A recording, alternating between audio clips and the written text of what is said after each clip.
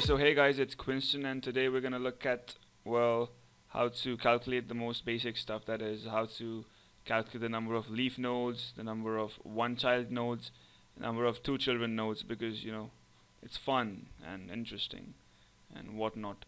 So uh, the way we do this is basically by a recursive technique in which we you know pass in the node and then we check if both the roots, both the you know right and left uh, pointers of the node are null or not null or any of those combinations. So let's start with it and then we after that checking we're gonna pass them again into the whole loop and then you know go on and go on. So um, let's just do that. So basically what I've done is I've declared three integer variables that is int number of leaf nodes, one number of one child nodes, a number of two child nodes and then I've made a constructor in which I actually initialize them to zero. I mean, I don't need to make a constructor to initialize them to zero, but I thought it was conventional, so I did it.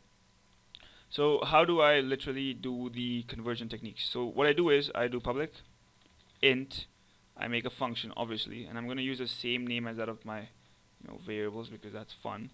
And I'm pass in a node, and I'm going to name it temp because it's going to be recursive. And I'm going to pass in the node in the uh, parameter list and I'm going to return 0 initially. Return 0 okay and initially but then I'm never going to reach it obviously. If um, temp is not equal to null what happens is that if temp is not equal to null I literally do not even check anything and I just return 0 so if it is not equal to null, so first I'm going to pass in the root. So if root is not equal to null, it's going to return 0 immediately. It's not, not, not going to even check what the next thing is. okay? So that's how it's going to be. So after this, what I do is I actually check for the leaf nodes, right? So what is the peculiar, peculiar uh, property of the leaf node? The peculiar property is that both the right and left pointers are null for the leaf node. So if uh, temp dot right is equal to equal to null, and at the same time temp dot left is equal to equal to null then what you're going to do is you're going to increment this value right here. Okay because that's the amount that's going to check for the leaf node right? And if that is not satisfied we are eventually going to pass a number of leaf nodes and in here we're going to pass temp dot right and at the same time uh, temp dot left. Now why did I do this? Why did, did I do this? Because I'm using recursive techniques. So this is gonna recursively call the right of the temp node and the left of the temp node which are also basically nodes and they're gonna go and check if those are null. So th this will happen until it reaches the end of the end of the tree and it's pretty awesome because you know it can map about 2 raised to n possibilities in n steps. Yeah or n minus 1 steps. I, I don't know. It's math um, but that many steps. So if this happens if this completely executes and we literally get the values of leaf nodes then we're going to go down over here over here and be like return r-e-t-u-r-n return what number of leaf nodes? That is this. Because then we know that how many leaf nodes are there.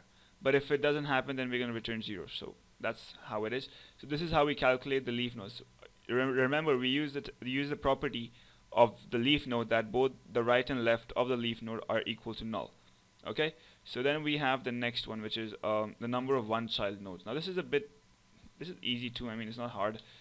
Obviously nothing is hard. Everything is easy. You just have to see what's easy and what's hard. Control C and control V. And everything where there is that particular value just control V. So but there is a difference in this. So if right is not equal to null and yeah I'm, making I'm making it seem really easy aren't I? I mean uh, because I'm just doing this. Anyway if temp dot right is not equal to null and temp dot left is equal to null which means one of it is is a child and the other is a null. Similarly if temp dot right is equal to null and temp dot left is not equal to null which again means that one of the child is present and the other is not present I mean it's null. So basically it has a one child node okay? It has only one child that node particular node. So in that case we increment the number of one child nodes and well that's about it. It's that easy. So next we're going to do the same thing copy and paste and be like hey this is done so easy. And then we're going to do number of two child nodes. So in the number of two child nodes we be like um, the same thing but just a bit of difference. And uh, it's not that easy. I mean it's not that hard. It's obviously easy and then we delete this and be like if this is not equal to null and at the same time this is not equal to null which means that both the both the children are present basically and not, none of them equal to null. So you do plus plus and then you pass in the values which are next to it like the right and left and then you return it when it's done. That's about it. Isn't it easy? It is actually very easy. So let, let us run it and find out. And it's done. See? Number of uh, leaf nodes one. Amount of um, nodes with two children one that is the root obviously and the amount of nodes this is the binary tree. I even deleted a few things so yeah that's about it. Uh, how did this happen? In the main function I, I returned I did this. System.out.println the amount of leaf nodes are okay b dot number of leaf nodes and then here pa I pass the root because you always start from the root because the root, root is the only uh, you know the node you have which which you have from where you can start right so system print and the amount of nodes with two children are and the amount of nodes with one child are so yeah that's about it. Oh wait I did opposite. Yeah now it's fine. So well that's about it. So thanks for watching. I hope you come back later and see other videos I make. Um, so if you like this subscribe share and like again. And uh, yeah that's about it. Thanks for watching. Later guys